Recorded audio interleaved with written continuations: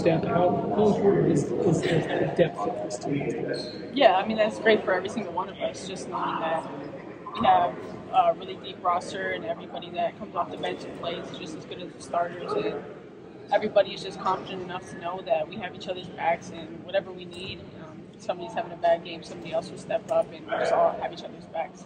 When you heard Bridgeport and you know this UConn fan base, and like you said, it's not going to be you know bubble this year. It's going to be the UConn fan base following you guys. What does that mean to this to this team to be able to play these kind of games in front of this? Well, I think just the first game being a Gampel, we didn't get a whole lot of Gampel games this season, so not, we're not looking ahead to Bridgeport and we're not looking too far ahead. We're just looking at our first opponent Mercer. So, I mean, that being a Gampel would be a lot of fun. Hey, you talked about you, you, accepting what you are this year. Like, what, what what are you at this point? You know, compared to what you've been. I mean, you've been able to do so many things on the floor. Where where are you? Try to explain that. Yeah, I mean, sometimes I just am not as comfortable, or when I was first coming back, comfortable making the same moves or making the same reads and making the same cuts or movements that I did before um, my knee surgery. So just being able to be more confident in what I'm doing. And I mean, my strength is there, my healing is there. So just being able to be confident enough to use it again is the biggest thing for me. Would you prefer to start? No, I don't care. Um, whatever this team needs to be off the bench, 30 minutes, 20 minutes, 40 minutes. Um, I'm excited with whatever role. All right, we're going to think outside the box for a moment. If you could be a national champion in anything normal, your any everyday activity, what do you think you'd win a national title? I don't know. That's a really good question. It's not a good question, but it's a thinker. It is. I think my, my biggest regret growing up is not playing flag, flag football. Um, so I think that I could win a national championship flag football. A, a great team, obviously. Is that because AC played? Did you get? no, AC definitely AC played, and that kind of like made me open my eyes a little what I missed. So yeah, that sounds good. Sounds good. Thanks, Paige. You, you did the moonwalk during a timeout recently. You've done a lot of little dance moves on, on the sideline.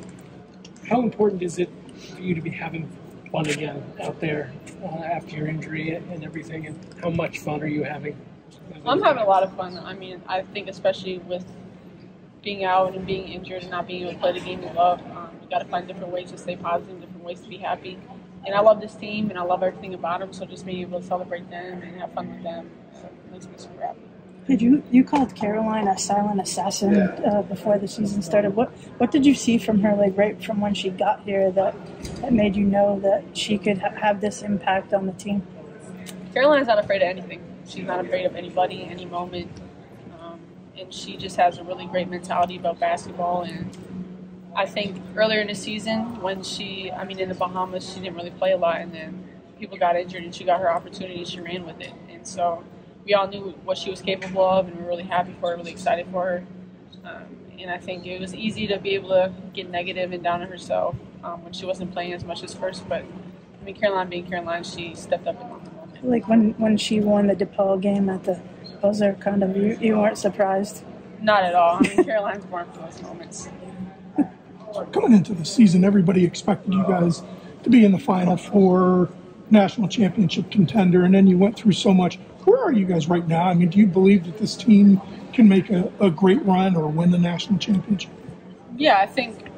I mean, we're all confident. Um, we're not really worried about anybody else's expectations or any pressures from the outside and what they view us as. I think we're just all worried about ourselves and being the best team we can be, the best individuals we can be, and hopefully making a run for the NCAA title this year. And how good are you right now? I, I, we're good. We still have things we can get better at in practice. Um, but like I said, I think we're pretty confident. Speaking of having fun, what do you think about Nika's uh, chest bump celebrations that she started this year?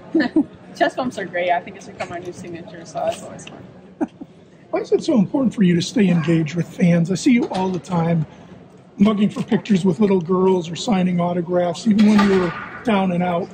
Yeah, I mean, I mean, I was in their shoes when I was younger. I, I had players that I looked up to in high school, and obviously with the Minnesota Lynx being super successful, I looked up to those guys as well, Maya, Lindsay, I mean that whole team and the whole championship runs that they went on. So just knowing that I was a little girl in their shoes and the, the older players um, that I looked up to were nice, nice to me. They took pictures with me, and they just were super nice to me, and so I just want to be a great, great role model like them. Is there any extra motivation to get to the final four because it is in Minneapolis, or is that just? like an I'm trying to make it. bonus? I'm trying to make it to the final four every year. So, but it being in Minneapolis, um, it would obviously be pretty awesome just for it to be at home. But I think we're just taking it one game at a time. Final four is a goal of ours every year. Do you remember the first time you saw the autograph? In high school? No, I do remember it was in high school though. Um, after games, and then my senior year it became more popular for fans and little kids to stay after. But first autograph, I don't really.